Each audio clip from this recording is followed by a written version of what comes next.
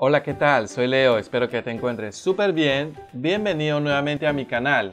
Hoy vamos a compartir unas croquetas de calabaza súper crujiente, fácil de preparar y delicioso. Lo vamos a acompañar con una salsita agridulce que lo llevará a otro nivel.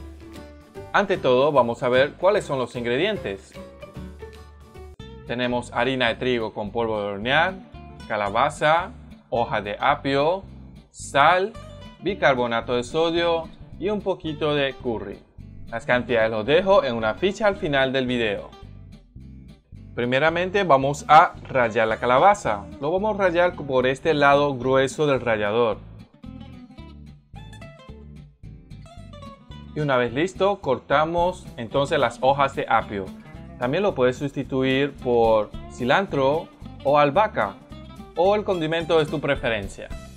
Además de darle sabor, es para darle también un colorcito verde para que quede más bonito. Luego en un bol unimos todos los ingredientes. Harina de trigo con polvo de hornear, sal,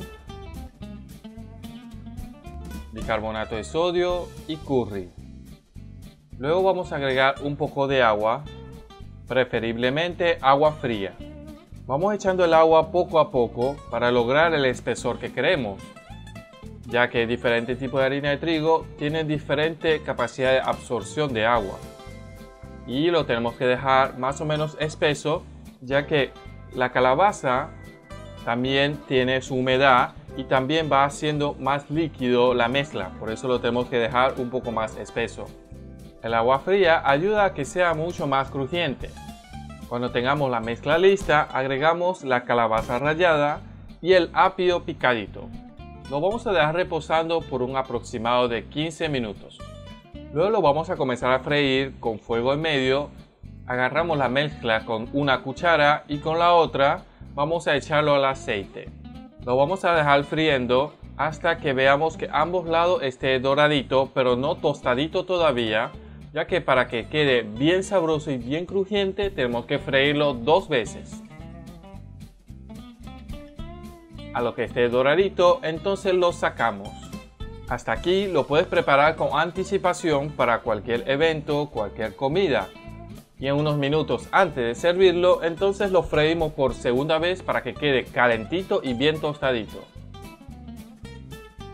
Para la segunda vez que vamos a freír, lo colocamos en fuego en alto. Esta vez es para quitar toda la humedad que tiene en la superficie y quede bien tostadito.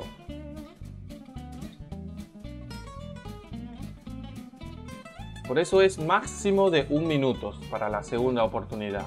Fuego en alto. Y listo, así tenemos nuestras croquetas veganas de calabaza. Delicioso, fácil y rápido de preparar. Lo vamos a acompañar con la salsa agridulce que preparé en uno de mis videos anteriores. Si no lo has visto, te dejo el link arriba. Hace una combinación increíble que vas a sorprender a todos. Y antes de finalizar, veamos cuáles son las cantidades de los ingredientes. Para las croquetas de calabaza vegana tenemos 120 gramos de calabaza, 20 gramos de hoja de apio o también puede ser cilantro o albahaca, todo a su preferencia.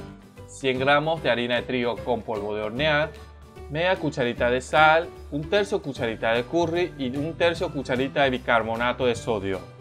Y bien, esto ha sido todo por hoy. Si te gustó este video, te invito a suscribirte. Activa la campanita para que no te pierdas de ningún video nuevo. Dale like deja un comentario aquí abajo de qué tal te pareció, comparte con tus familiares y amigos y nos vemos para la próxima. Chao, chao.